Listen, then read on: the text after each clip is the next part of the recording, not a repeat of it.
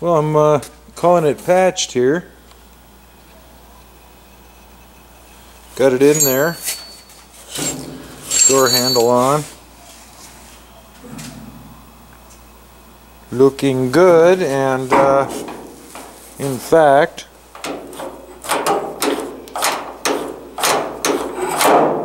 works good. So um, yeah. Well, happy uh, Saturday the 14th out here at the Beetle Barn. Um, yeah, nice uh, overcast spring day. Probably 60 out here, maybe. I don't know, maybe not. Anyway, I guess uh, what I got to do today, get into this guy and uh, kind of hit a few spots here on this uh, door project. And um, anyway, so I'm going to go ahead and hit a little bit of that rust real quick with the sandblaster and see where I stand.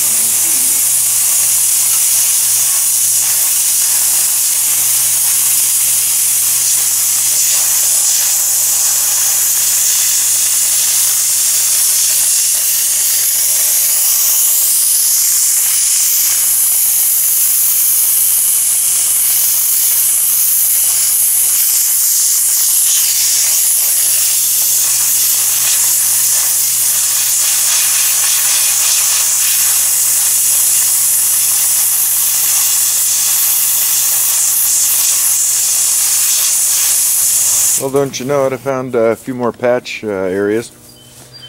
I got uh, a couple little pinners right there. Most of this is pretty, uh, pretty solid, but I got a couple little pinholes there and around the corner here. This one here is actually a screw hole from the inner uh, panel. But anyway, so I got a couple little areas, probably make, uh, I don't know, make a couple little patches, I don't know yet. We'll see. I don't want to cut that whole chunk out of there. And I got the same kind of business going on down here on this corner. So, anyway, a few more little patches. Um, well, uh, here's what I got cut out for now. This bit of this corner. Um, on this one side, I'm going to have to come down further here over uh, around in here. But uh, the piece that I'm using here has got some crap going on right in there as well but this uh, shape you know continues all the way around this door so I can cut another little piece out somewhere else of some good stuff. So I'll make that as a second patch. What I think I'm going to do is get this first piece patched in. It may end up with a, a gap in a gap in here or something because I'm going to make another patch but I want to get just up and around this corner all in one piece and then I can lay another piece you know over this way coming this way. So uh, yeah. I'm going to cut my patch out and weld in my first part of my patch. Well based on the available donor metal this is the patch I came up with which will get me just around the corner. Then uh, I gotta cut some of this section out. I got to go a little further here. So I'll cut this out and make another patch for that area. And then the same on this other end, a little bit of a, another patch. But I'm going to weld this piece in, get it all set up, and then uh, cut out my next little sections. So I got to clean this up and uh, get it welded in there the part that's going to stay and then I can cut the rest of that crap out of there and go about my other two little patches.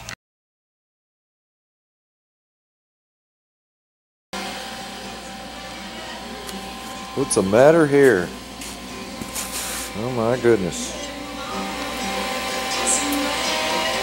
Well, it's coming along here. Um, anyway, I got this end here I'm going to do now. Get rid of those other holes. The only piece I had that would fit here has got some pinhole right in here. So I'll probably end up cutting this little bit off and putting another little flat flat patch right here, but we'll see how it works out. Um, anyway, I'm going to uh, clean the paint off of this guy and clean it up a bit and uh, put it in there. Well, my patch job on this side over here was a uh, failure. I just kept blowing holes in it, and I guess you can see I screw that shit. Uh, pull it out anyway, and uh, I'm out of material. It's preformed that'll work for what I need, so I uh, cut a chunk out of the skin of that, and I guess you can see what I got here. It's a nice substantial piece. Anyway, I'm uh, fixing to make a patch. So this is going to be a, a, first for making curves and stuff for me. So we'll see how it works out. Well, here's the way I'm going about this curve thing. First I, uh, I bent my little sharp edge and then I'm just trying to work a curve around this piece of round here. See if it works out. Well, I don't know if this will work out. We're going to give it a shot here. This is uh, a factory piece um, and there's what I've got. And uh, if I lay them up end to end, see if I can do it. I'm uh, really, really close. So I think this piece will fit in there with a little bit of tapping and persuasion if I can get the uh, outside dimensions to fit exactly. So I'm going to go with this thing. This is some uh, substantial stuff here actually. I was surprised how thick it is. Anyway, it's going to work out.